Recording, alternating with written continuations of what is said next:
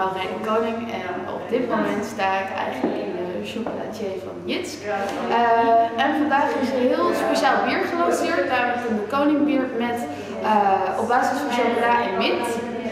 Ik sta hier met de creator en die gaat ons er vandaag alles over vertellen. Dus vertel eens even, hoe is het allemaal tot stand gekomen eigenlijk?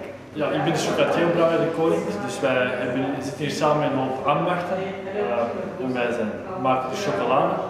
Uh, we hebben vraag gekregen met de brouwerij voor samen eigenlijk te zien voor een product te gaan maken uh, waar eigenlijk alles bij komt. Ja. Uh, we hebben een chocoladebier gemaakt. Uh, uiteindelijk zit er niet echt chocolade in. We zitten met cacao hebben we gewerkt. Uh, dus we hebben eerst de cacao husk gebruikt en dan daarna de cacao nips. En hebben jullie dan ook gebrand? Of? Ja, dus de, de bonen blijven gebrand, zo zijn ze binnengekomen ja. bij ons.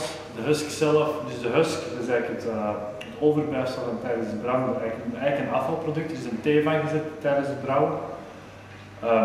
Dat geeft al de eerste smaak en dan daarna in het brouwproces hebben ze nog in een hopgun hebben ze ook nog eens de nips toegevoegd. Oh, Toen hebben ze ook nog munt toegevoegd, eigenlijk voor meer frisheid te geven. En gebruik je dan uh, echte munt of is het Altijd, nee, nee, nee, nee, nee, alles is vers. Okay. Dat was voor mij ook heel belangrijk, omdat wij hier in de zaak enorm puur en vers werken.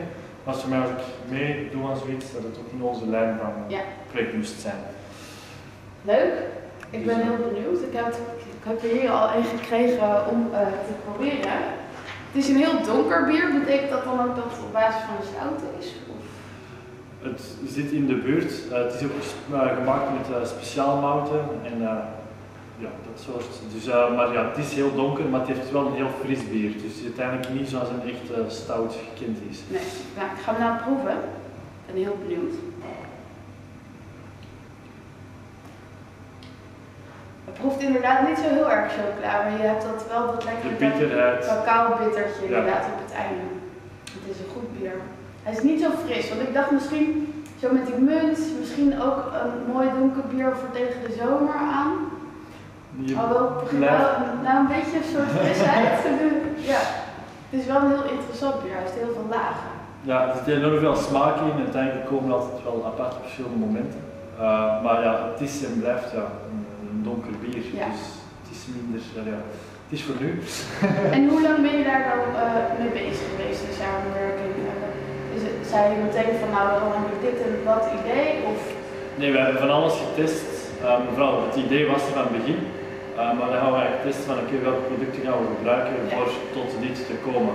Hey, uiteindelijk uh, we moeten zien dat we geen vettigheid hebben, want dat gaat het schuim van de bier kapot maken.